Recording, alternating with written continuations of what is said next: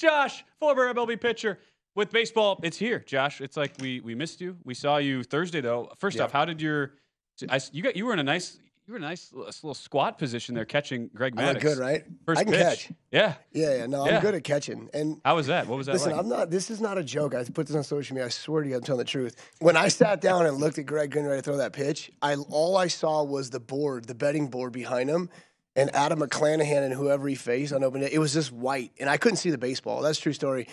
And so I literally just put my glove up and. I if you, if you watch the video, you see me kind of look down as I pop up, and then I went to go say something to Greg. I never saw the baseball. He just hit my glove, and I caught it. It was beautiful. I could have easily took that off the face, but luckily uh, he knows how to throw strikes.